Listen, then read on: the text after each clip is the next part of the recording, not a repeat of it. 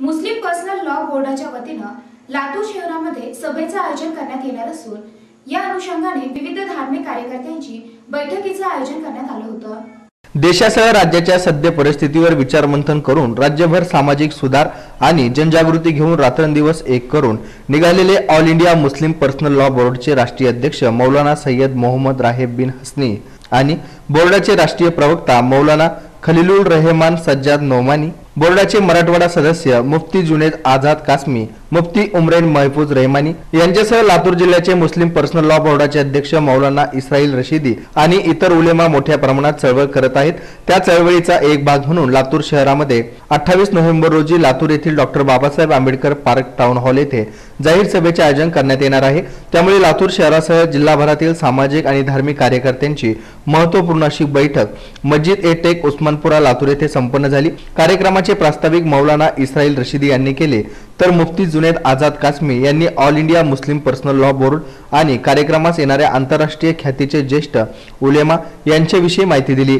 उपस्थित सामाजिक कार्यकर्ते आणि पदाधिकाऱ्यांनी हा कार्यक्रम पूर्णपणे यशस्वी करण्यासाठी आपण अहोरात्र परिश्रम घेऊ असा निर्धार व्यक्त करून निर्धारित केलेल्या सर्व बाबींची पूर्तता करण्याची तयारी दर्शवली. या कार्यक्रमाचे नियोजन मौलाना इब्राहिम कासमी यांनी केले होते. 28 नवंबर को शहर लातूर में all India Muslim personal law board के बैनर तले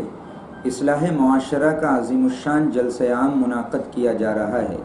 اصلاح معاشرہ کے ضمن میں پرسن اللہ بورڈ یہ چاہتا ہے کہ لوگوں میں سماج سدھار کی فضا عام ہوں لوگوں میں محبت و الفت پھیلیں لوگ اچھے کاموں میں ایک دوسرے کا تعاون کریں۔ میں شہر لاتور کے عوام الناس سے بالخصوص گزارش کروں گا کہ وہ زیادہ سے زیادہ تعداد میں جلسے گاہ میں پہنچ کر آنے والے اکابر علماء سے استفادہ و اقتصاب فیض کریں۔